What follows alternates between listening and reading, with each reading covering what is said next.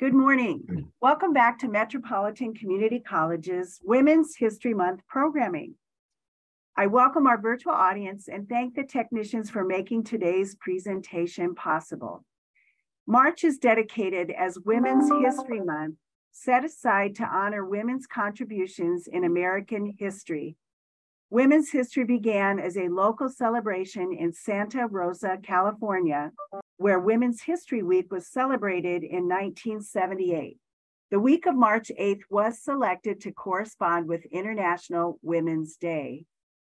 Then in February 1980, President Jimmy Carter issued the first presidential proclamation stating, from the first settlers who came to our shores, from the first American Indian families who befriended them, men and women have worked together to build this nation. Too often, the women were unsung and their contributions went unnoticed. But the achievements, leadership, courage, strength, and love of the women who built America was as vital as that of the men whose names we know so well. Today, we're honored to have a native Nebraskan who developed her career into global recognition, who will be sharing her experiences with us. And we are indebted to Teresa Foley, MCC's assistant to international intercultural education, for introducing us to the possibility of hearing from Mary Lou Luther. Teresa, thank you again for always keeping your eyes open for potential presenters. And Teresa is now going to introduce today's speaker. Good morning. My name is Teresa Foley, and I'm Barbara's assistant. And I first became of, Marylou on a PBS short was a wonderful short, gave a little history about her. Um, and that she was from Cambridge, Nebraska. And I, I thought how wonderful that she made it, you know, so, you know, became so involved in fashion, kind of almost like an accident.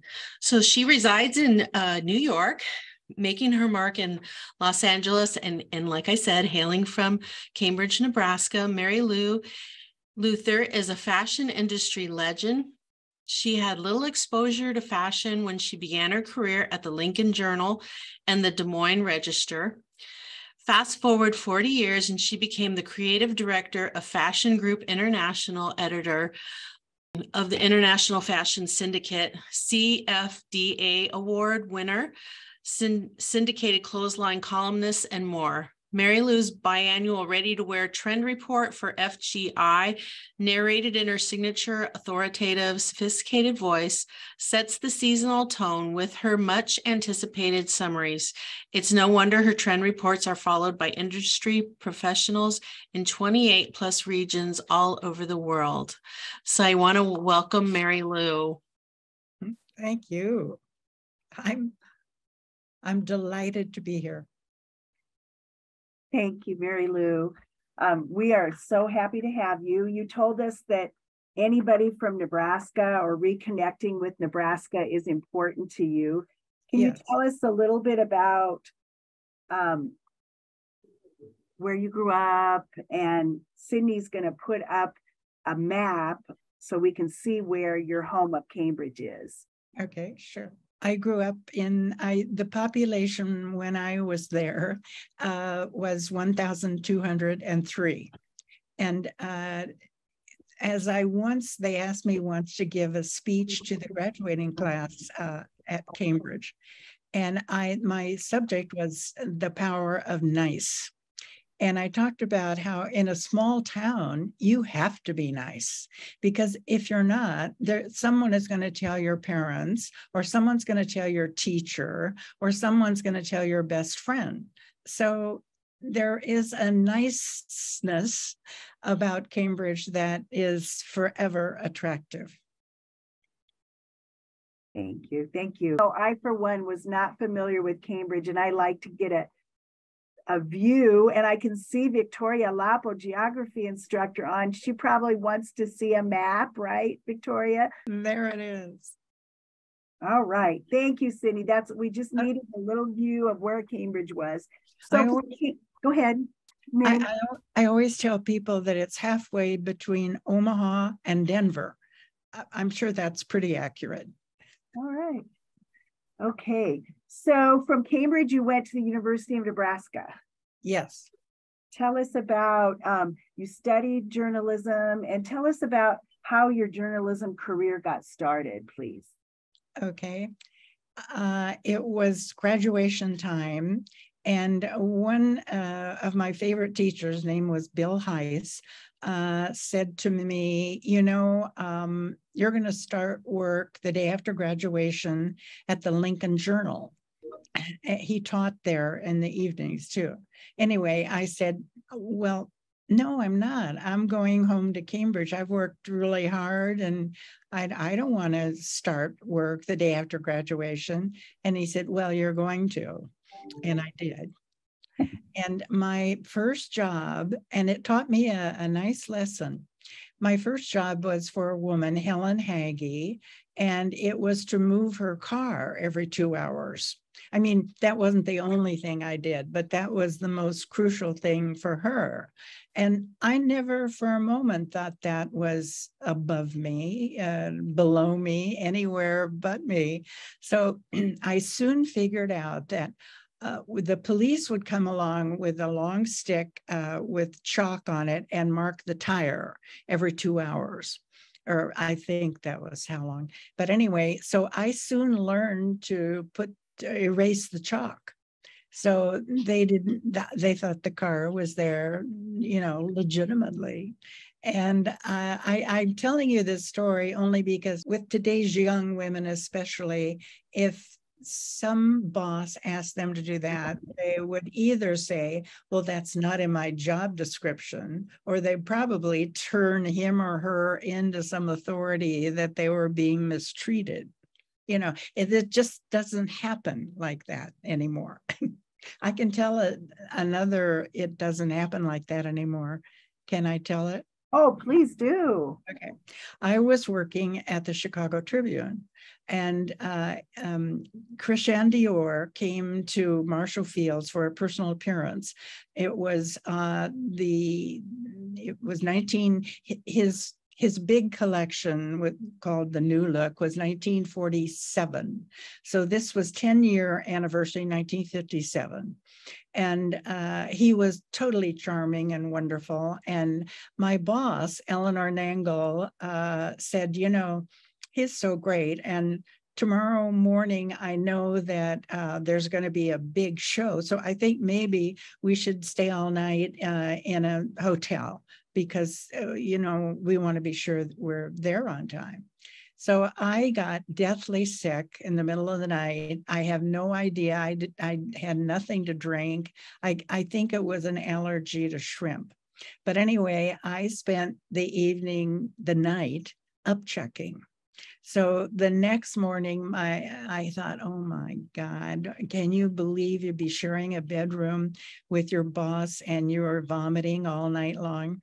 So she looked at me and she said, Well, here you look bright eyed and bushy tailed, and I haven't slept a wink. And I thought, Oh my gosh, she's going to fire me, you know. Well, not only did she not fire me, but Dior died that year within uh, within months of his appearance in Chicago. And uh, it was announced that he was going to be replaced by a 21 year old Yves Saint Laurent. And uh, the whole fashion world, of course, was eager.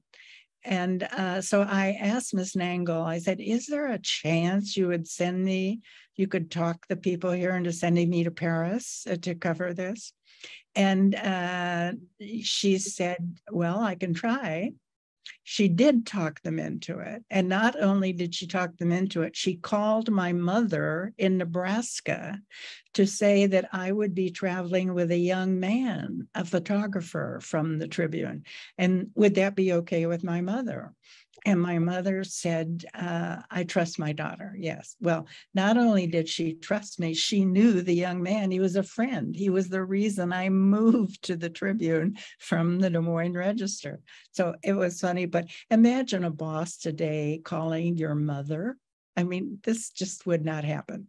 These were the amazing things in my career that I, I really, they were gifts so I did get to go to, you know, I covered the collection. Excellent, excellent. You have such a very, very interesting life and career history. Um, how did you end up in Los Angeles after, after working at um, the uh, newspaper? Uh, Des Moines Register. And the Des Moines Register then. Uh-huh. Yeah. Um, oh, this is another, only in America, only in Nebraska, only in Los Angeles. I was visiting my brother who lived in uh, California, and we were in Los Angeles, and we were like right in front of the Los Angeles Times. And he said, You know, why don't you move here? Why don't you get a job at the Times and we could see each other as it is? I never get to see you. And I said, Yeah, I know that would be great. And he said, Well, look, we're right here. Why don't you just uh, call and see if you someone could see you? And it's in the days of outside telephones. And so I called and I said, um, "May I? This my name is Marylou Luther. May I please speak uh, with your managing editor?" And the woman on the telephone said, "We don't have a managing editor. I'll put you through to the editor." and the editor was Nick Williams, um, Saint Nick Williams. Uh, and he, I said, "Hi, Mr. Williams. Thank you. I, my name is Marylou Luther." And he said, "I know your name." And I thought, how in the world would he know? Well, he knew because um, at that moment, the Chicago Tribune was one of the few uh, newspapers that sold its color pages. It was one of the few newspapers who had color pages. And of course, the fashion pages were always in color. So he said, Well, come on up. And I did. And uh, he hired me. I mean, isn't this an amazing story, too? It is, yeah. So I um, listened to some previous interviews that you did and have been reading some, you know, online stories. And you spoke of being very intimidated when you first entered the fashion area. Can you talk about that a little bit? Yes, of course. I was working for the Des Moines Register. And uh, my boss there, Frank Frank Irely, uh, asked me to come and meet the fashion editor who was retiring. And uh, she was very knowledgeable about fashion. And uh, her aunt was Carmel Snow, the editor of Harper's Bazaar, and her uncle owned the paper. So she, we were together for two weeks. And it was at a time when the pictures from the Paris Haute Couture were coming in. And so she said, Oh, this is great. You'll get to see this. Uh, she said, um, Now, this is Jacques Fath.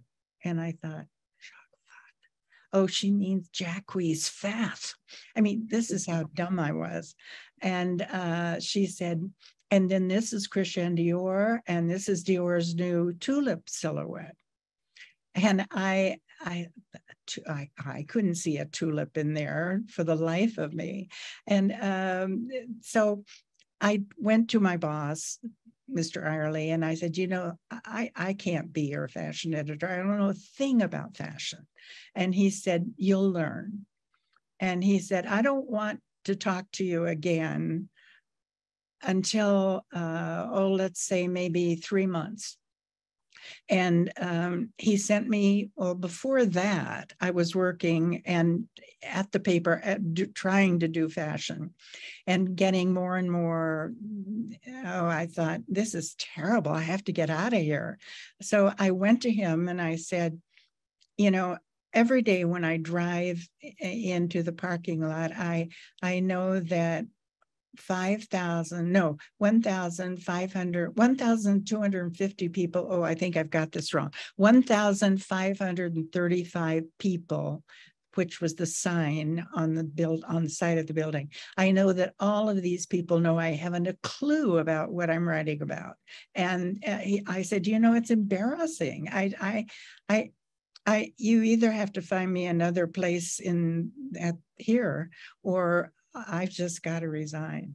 And that's when he said, You're not resigning. So he sent me to New York. And in those days, Eleanor Lambert was uh, um, the leading um, she had the leading PR company, and she organized a, a fashion week where you, the only people you saw were her clients, and you she, you sat at the the nicest hotel in New York, um, surrounded by all sorts of good things to eat, and uh, just sat there and watched the clothes go by. So uh, I, when I got back and told Miss Nangle about it, she said, "Well, that's terrible. You, this is awful. You, you were looking at her clients' clothes two months after they were shown to buyers." And I said, "Yeah, that's true." And she said, Well, that would be like telling a sports writer that they can't cover the World Series until two months after it had happened. We can't do that. So she, amazing woman that she was, organized, I think at one time there were four other papers. And we wouldn't go to Eleanor Lambert shows. We went with the buyers. Unfortunately, in the beginning, I remember st- signing in, they asked you to sign in in those days um, at one firm, and I got M A R Y L. And they said, Are you Marylou Luther? And I thought, Oh my God, what have I done? And they they said i'm sorry. I said yes i am. Is there a problem? And uh, they said well we're sorry. We can't let you in. Ellen we're a client of eleanor lambert and she asked us not to let you in and i said okay so that was her strength. I mean, she was amazing. And she was a big force in the, the CFDA is the Council of Fashion Designers of America. And all the leading American designers, of course, belonged. So uh, about three designers agreed to see us, but we grew and eventually we won. wow. Wow. Those are you your perseverance is so evident. yeah, is it? Yes, at 92, I'm still persevering. so, and as you tell that, I mean, I believe that your story in your profession probably rings true to some other people and what they've done and how they felt like they may have to break a stereotype like who from Nebraska would know about fashion or um, you're too young to do your job or you know yeah. looking back over that career do you have recommendations for people who are trying to become successful in a career when others think they're not qualified what what what keys to success would you offer when you're at that stage where you're trying so hard uh, I guess I would offer my services. Um, I would say, you know, would you try me? I'll work for nothing for a month or so and just see how it goes. I think that would be good advice. And then I used to give this advice in my clotheslines column. When you have a new job, I said, uh, don't buy any new clothes in fashion until you see what your boss is wearing and then go that route. And then I thought today, oh my God, that wouldn't hold for one minute. you can wear whatever you want to wear to work, uh, or at least you could until a few minutes ago. anyway. Right. Well, and then I, I wonder if you have to be careful that you don't outdress your boss, maybe. Oh, too. Oh, yeah. Yeah. exactly. But now I don't think that's true. I think anything goes. And um, and I also think that people, that bosses are so schooled in not getting into trouble by demeaning those who work for them and other things, mm-hmm. uh, that it just wouldn't work. So over your career, what changes have you seen in the fashion industry?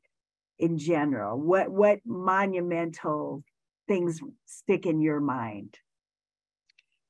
Well, it, I, am going to refer in my book to my one of my uh, I think one of the most amazing quotes in the book is from a very famous French designer Andre Courrèges. I brought it uh, on a piece of paper here because may I read it? Please do. And I think is that the one you want Teresa to show the picture? Did in the book? Yes, you, yes, yes, yes. So could you while Marylou's getting ready, Sydney, could you put spotlight Teresa so people can see that? Hold on. There we go. Okay. Andre Courrèges quote says, major trends which impact society for seven years or more always begin after a major calamity or scientific breakthrough. Fashion flowered in the 30s following the stock market crash. Christian Dior's new look of 1947 emerged after World War II. The youthquake of the 60s followed the introduction of the pill. And, and the pants revolution followed man's landing on the moon. That was 1969. Following the Courrèges cause and effect example, we should now be two years deep into the next big fashion moment. But what is that moment? Is it caution, comfort, historical repeats, multi-sexual clothes, minimalism, maximalism, artificial intelligence, outer space, Hollywood? It's right now, there is no one look. And uh, it says so much about our fashion to me, always interested me because fashion is uh, illustrates its time. And you can't, I can tell looking at clothes, oh, that's from the 60s or 70s or whatever. And uh, I just think this is the disruption that is today. And everyone is kind of searching and that's why I think the quotes in the book are really so amazing because some of the famous designers are saying, well, I think maybe there's too much change in fashion. We need to just settle down for a while. And another one will say, you know, that's why I love it when the designers themselves speak out. Because, uh, in fact, I have a word for it in the book. I call it, I call this book a fashion word robe and you're supposed to laugh. As my husband would say, you hear the applause. I think everybody is. Uh, that is that's a lovely quote. Okay. Thank you. Um, when we first started to talk with you, Marylou, you talked about your 10 most outstanding fashion moments. Yes. Is there any that you'd like to share today? Ooh, there's a lot. Uh, let's see. Well, I'd like to share this one. Uh, this happened when I worked at uh, the Los Angeles Times. Um, Edith Head, um, in case you don't know the name, Edith Head was uh, a famous Hollywood costume designer. Costume designer. Um, she won eight Academy Awards. No one has come close uh, since. So I went to interview her, and she was in one of the, the trailers that they would take on sets or to be near the set. And um, I was seated there, and in front of me uh, were Edith's, Edith's eight Academy Awards. And when she came out, she said, I do that on purpose because they I make them wait a while if a uh, like they being the actress and uh, they after looking at those eight academy awards they they can't say now look edith. And she said so it was intimidating but it helped me. And the reason she told me that story another reason i was having we became great friends. I was having lunch with her and i was mad at the la times because the food department had eight people and I only had in the fashion department four people. And I said to Edith, you know, this is just not right at all. And she said, well, just stop it right there. Do not whine. You're never going to get anything by whining. Now, what you need to do is convince them that uh, in order to help the um, Los Angeles Times really make use of all of the people waiting to advertise there, uh, you need more help. And you, that you, if you would give a little more coverage to fashion, I'm sure it'd pay back in advertising. And they did, and it did. And Edith was right. She's amazing. One of those great helpers along the way, right? Oh my God. Absolutely since you mentioned um, the LA Times again, would you tell the story of um, your mother being a support to you and then the result of a visit that she had to you in Los Angeles? But I think I did. Well, that was before the session started, though. So the oh, audience hasn't. yeah. okay. Um, um, European designers, when they came to America, usually just came to New York. So the few that did uh, called the Los Angeles Times. We were the only newspaper. Well, that's not true. There was another. Oh my God, that's not true. Uh, but anyway, they called me, and uh, almost every one of them would say, you know, I I really want to meet Edith Head. And uh, so I would take them to meet her. She was always charming uh, couldn't have been nicer. And um, now, wait, w- tell me where I was. But we were going to uh, speak to the the impact your mother had on you, and your mother meeting. Yeah. Um, okay. Yes. Thank you. Thank you.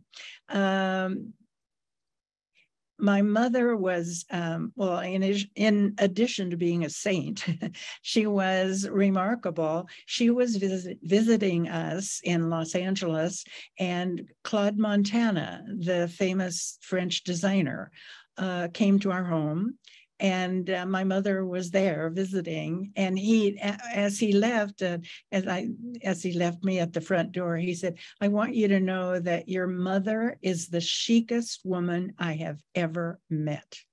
And i thought oh my god that is amazing. For cambridge nebraska.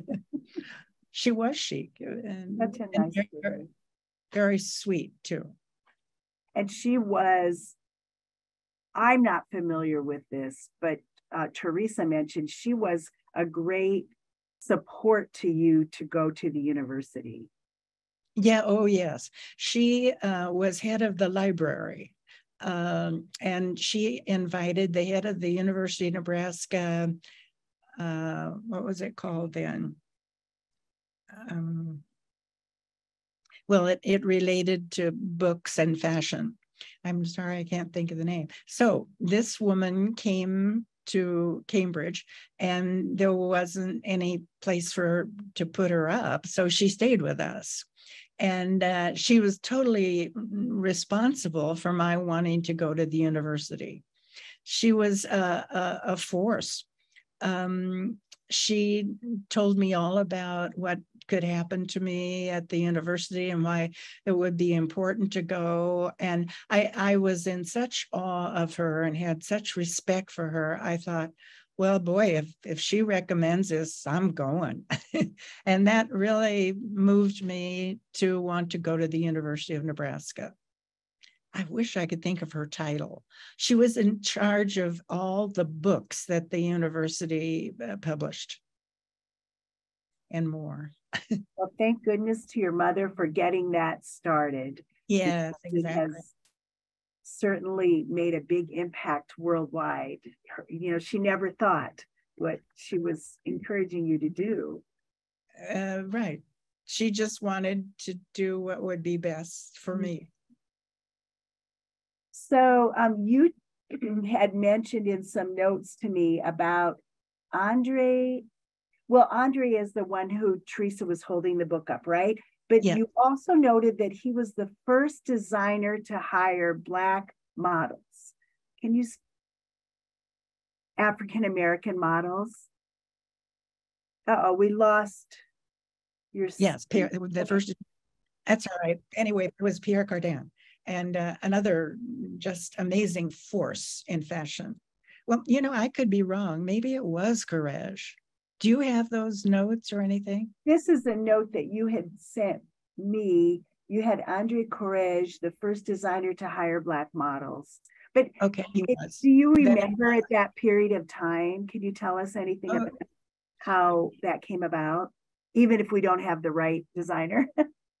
no, it uh, it was Andre Courrèges. Um, I think designers um, long ago discovered that the show uh, is almost as important as the clothes. When I started, fashion was uh, three things it was color, fabric, and shape. Today, it is so much more. And one of them is the show.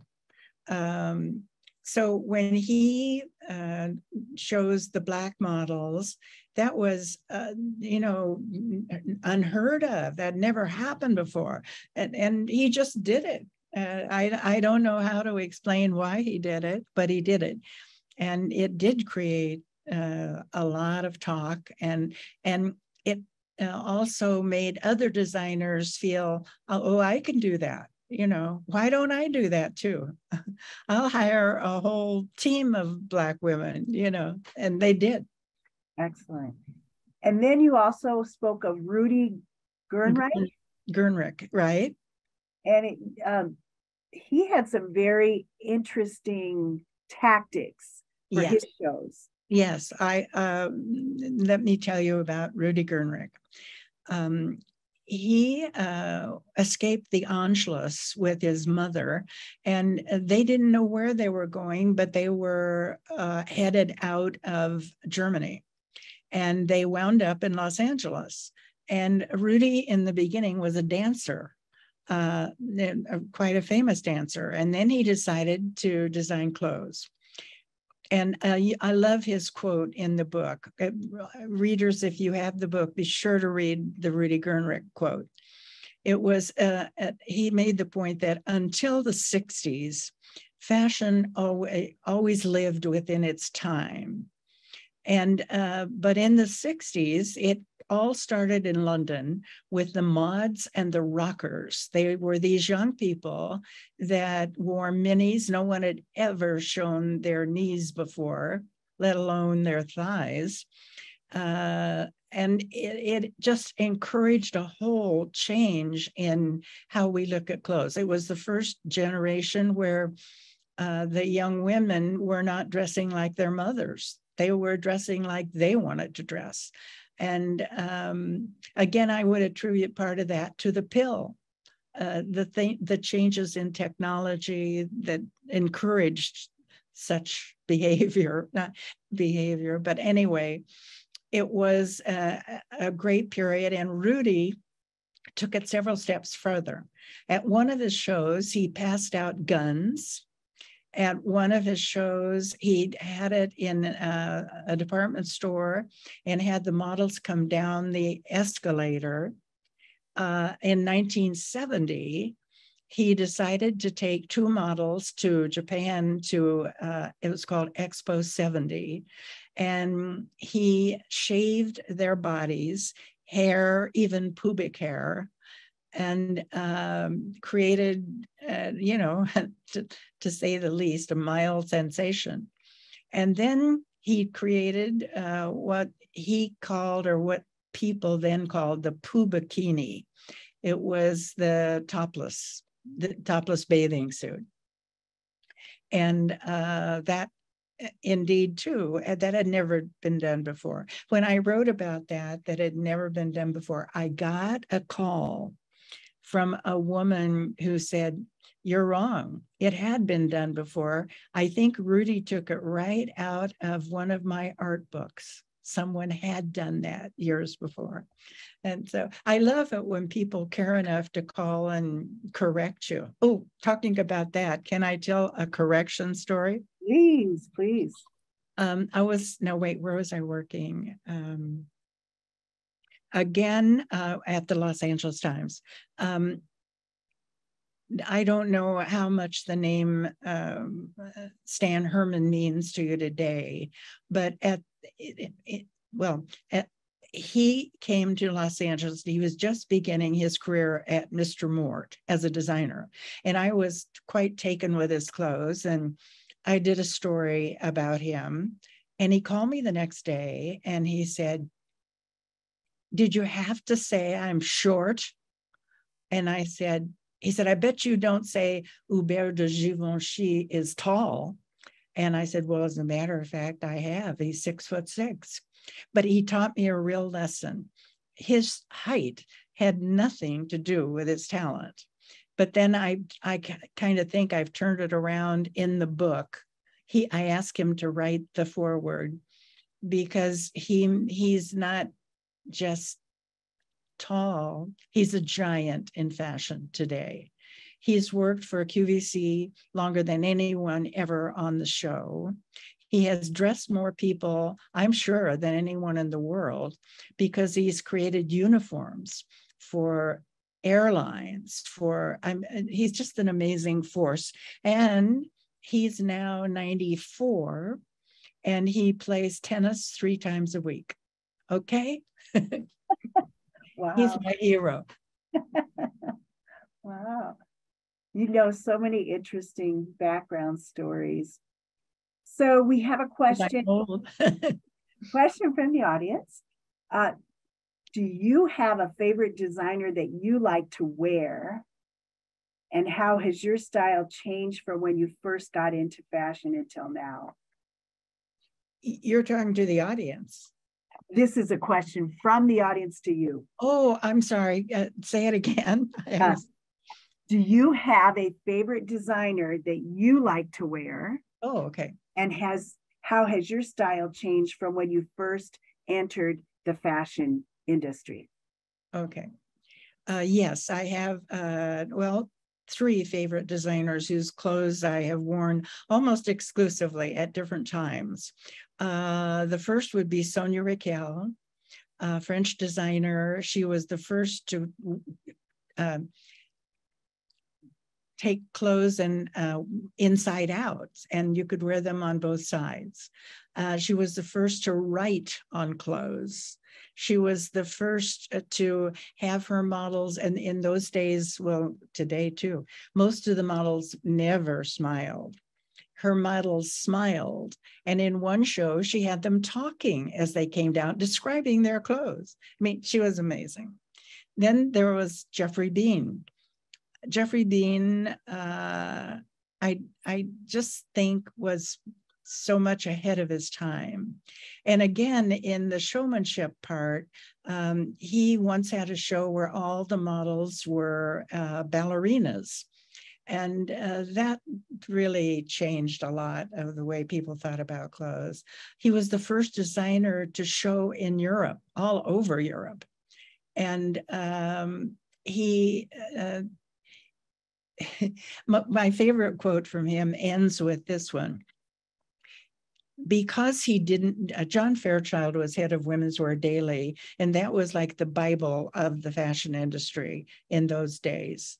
Um, and he had asked Geoffrey to do something, and Geoffrey Beene didn't want to do it, so he didn't do it.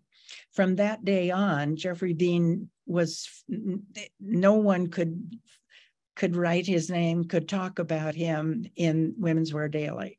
And I'm sure it did hurt Geoffrey Beene's career. Uh, but uh, so anyway, uh, I asked him about it once, and he said, "Well, I I now have a name for John Fairchild. It's John Unfairchild." I love that. That was great. And my third would be Yeohlee.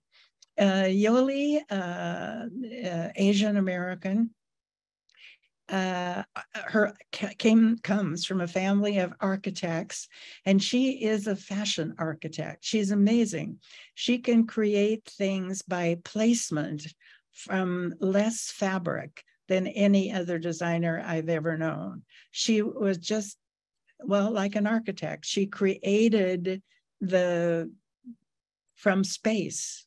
Um, I, I don't know how to describe her but she had the first fashion show in New York City in a subway. And all of the models were real people, one of whom was Elsa Klensch, who at that time was with CNN. She was, Elsa was the first major television, fashion television personality. So anyway, uh, Yeohlee is an amazing force. She still is. And uh, much of my wardrobe is hers uh, do I have the pants I'm wearing right now uh, are hers. This probably is too. I forgot to look at the label. and uh, the same was true of Geoffrey Beene, and the same was true of Sonia Rykiel. Um, anyway, those three would be the, the my own personal wardrobe. It still is. And and has your style changed from when you started in the fashion industry until now? Oh, yes, yes. Uh, at first, um, well, Sonia was my first real idol in changing the way I looked. Um, until then, clothes were big shoulder pads and very masculine. That was the look. Uh, her clothes were all knits, all no shoulder pads, all very high armholes that showed every speck of your body. So it also made me diet and try to get a better body for her clothes. And I once asked her, I said, she probably made me a black, uh, a person who still adores anything black, including people. But anyway, um, she, I asked her once, I said, do you only always wear black? I always see you in black. And she said, uh, No. She said, You only see me in the winter. In the summer, I only wear white. And then she said, I'm a Gemini. You know, we have two faces, white and black. lovely, lovely, lovely. Thank you, audience. You can keep sending questions in the chat to moderator Barbara Velasquez. Um, so we talked about your growth in fashion, but I can't leave the thought that you grew up in Cambridge, you moved to Lincoln, you spent some time in the Midwest, you went to LA, and now you're in New York City, and you've traveled the across the world, right? Mm-hmm. Um, how did you make successful adjustments to maneuver life in those different parts of the world? I guess by just looking and being aware of my surroundings and what would be appropriate for those surroundings and what would definitely not be at that time. Now, I don't think you could pick a thing that uh, is inappropriate, but those were different times. Okay. And every summer you come back to Cambridge? Yes. I do and uh, love it. I come back to the house I grew up in, and uh, my best friend, uh, we were we've been friends since we were four. We played gin rummy together almost every afternoon. Uh, she, alas, right now is in the hospital in Cambridge um, she fell. But the good news is this just happened. But the good news is uh, she just cracked ribs, not, she didn't break any bones. But she's, uh, I mean, that's painful and she has to be there for a while. But anyway, um, I love being there. Uh, to me, it's very real.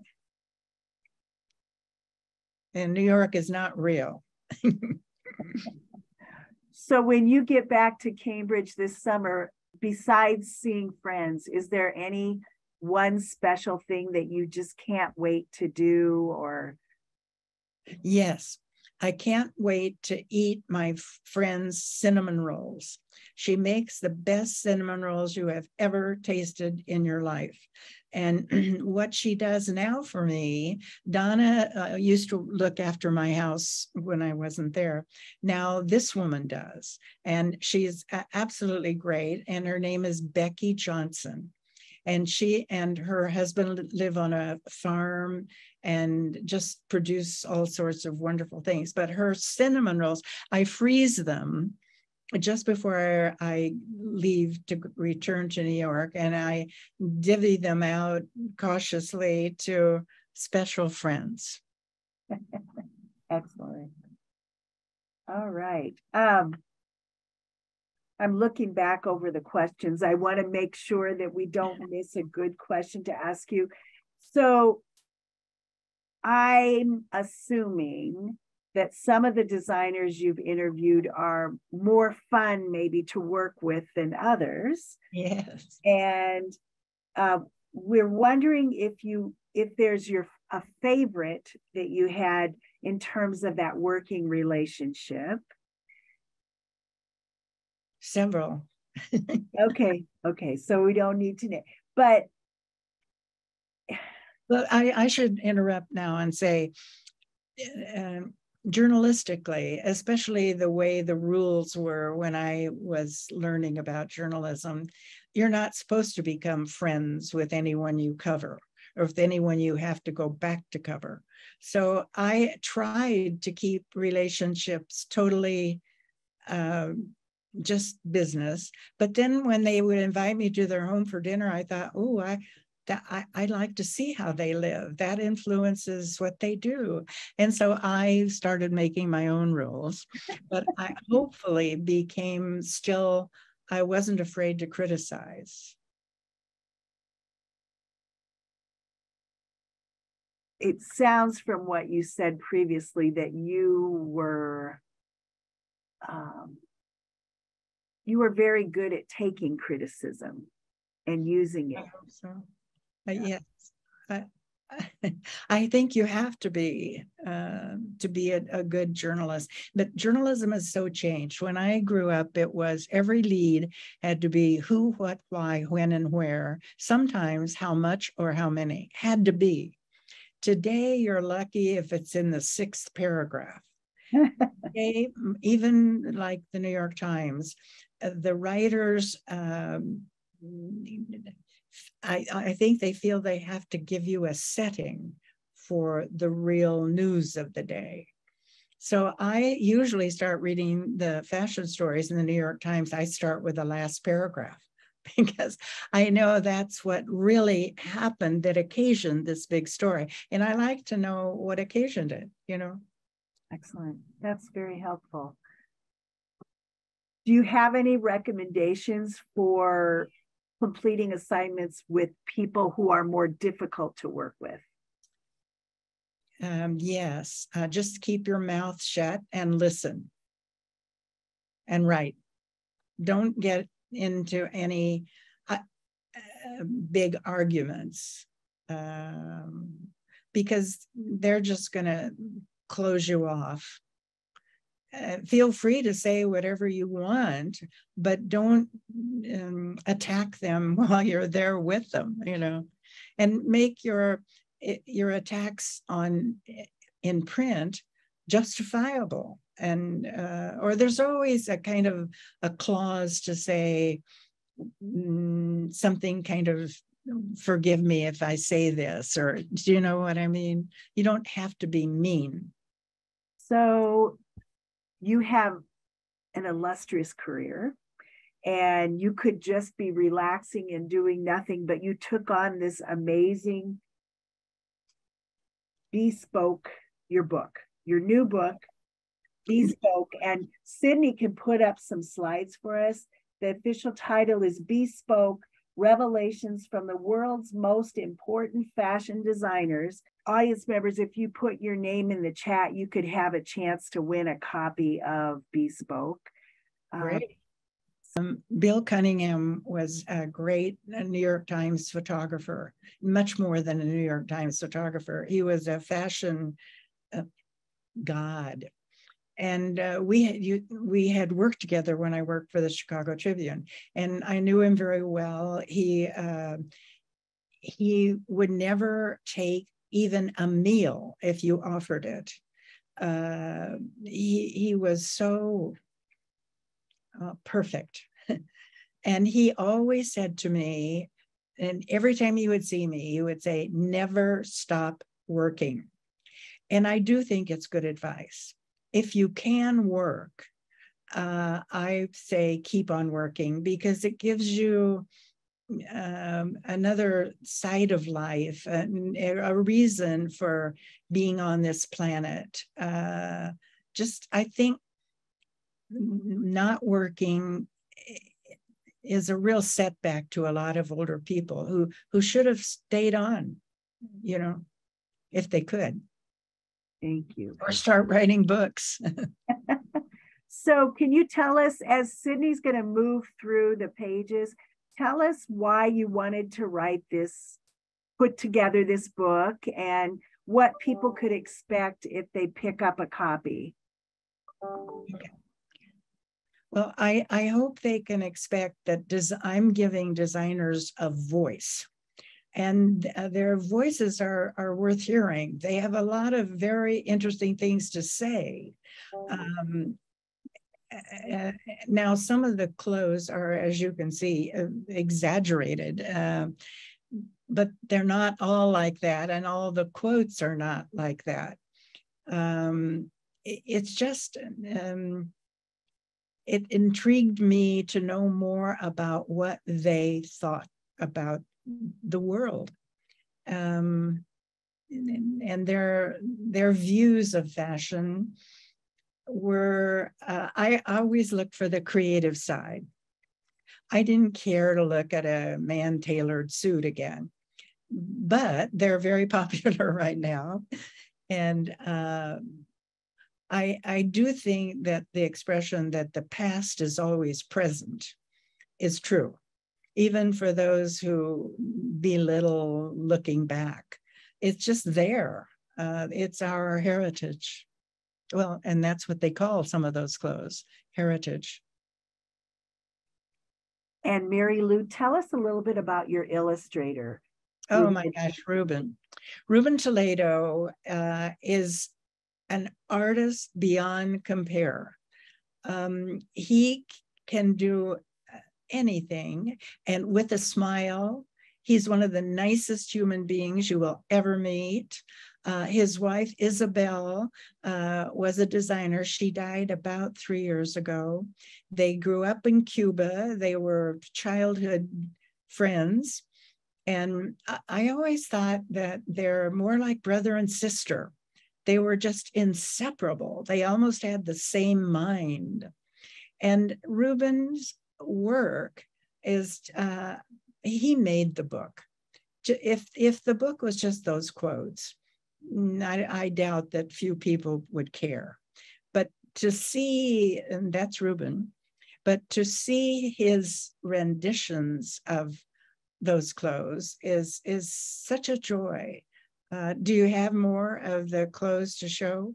I think that's all we were allowed to show by the publisher. Okay, sorry. So, but but there's you know they're beautiful. They're all beautiful. Yes, they are. Or if they're not, they're uh, you're showing. Why are you showing these clothes? You know, they're outrageous too. it's a lovely book. So thank you for those of you who've put your name into the chat. I've yeah. those. And then um, we do we have another question that's come in. What was one of the biggest obstacles you faced when developing your career? Uh, early on, it would have been um, I had no background in in fashion. That was an obstacle, and I had to learn to overcome if I was going to work in the field of fashion uh, other obstacles. Well, being a woman wasn't always easy. Um, women in journalism got, uh, you either worked in the food department or the um, any department that wasn't very important. Uh, the men always got the exciting jobs. So there was that. I, I liked staying in fashion, so that never really bothered me. I wasn't a victim, but I saw a lot of victims who should have had jobs that didn't because they were women. We here have talked about how in the month of women's history, your story turns out to be a good one, right? you were stereotyped into a position. You tried to get out of it a few times, but it turned out to work for you. And we're so thankful. Yes, indeed. Your I- life was fulfilled and you have you have done so much. Um, Well, I have had such great leaders. I have been gifted with my bosses. I mean, no one could have had the bosses I have had. They were amazing. They always helped me. Well, I want to thank you so much, Marylou. Do you have any final thoughts or quotes that you'd like to share with the audience before we move to our closing slides? One of his best quotes if I told a joke and it didn't register, he would say, You hear the applause. I like that. You hear the applause. You- Those husbands, they're good. Well, but I see, I think it just went over, like he said, you didn't laugh immediately, you know? So thank you, thank you so, so very much. Um, I know in one of the interviews I listened to, you spoke to always wanting, understanding your responsibility to help others and always just wanting to be able to provide opportunities. And I want to say that I, I can't speak I can't know everybody's situation who's in the audience. You're kind enough to let us record this so people will continue to be able to learn from you. But I know you've helped people today. Well, I feel that's uh, one of the major things I can do. Uh, I have a lot of contacts, and uh, you know, Bill Cunningham never stopped working. So I now I, I work a lot for other people, free, of course. Well, thank you. Thank you. I will take a free lunch.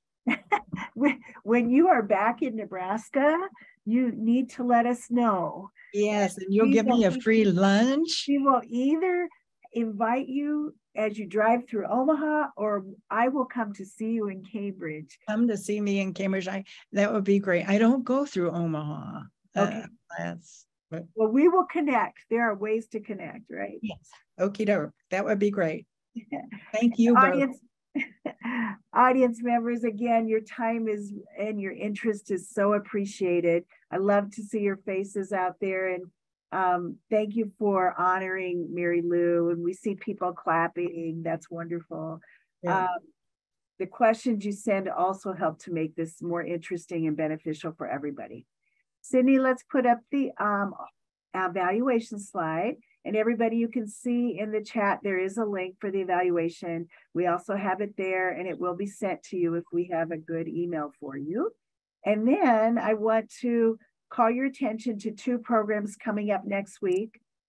On Wednesday, March 22nd at 2.30, Barbara McKillop Erickson, who is an adjunct professor at Nebraska Indian Community College, is going to tell her story of how she traveled to Germany with a team from Nebraska Indian Community College to help with the Omaha and Francis La Flesche exhibition. And that one will be available by Zoom if you would like to connect that way, but we're also going to be in person at the Fort Omaha campus. And then on Thursday, this is a virtual only. We're really excited to have Olga Custodio, who's a retired lieutenant colonel from the US Air Force and also retired from American Airlines as a pilot. Her the title of her lecture is Querer is Poder. Olga fought and fought to become a pilot. Um, she tried to get in before the Air Force was allowing women to get in. Um, she has many firsts in her career. This is only virtual. So we hope you sign up for the Zoom and listen to her next Thursday. Thank you, Marylou, again. It was nice to be here. I loved it. Thank you to Teresa. I'd like to say thank you to Nick, Marylou's grandson, who helped us get things set up. And thank you to Walter, her son, um, who also helped us, along with Sharon Lee, who can't be with us here today. Have a great day, everybody.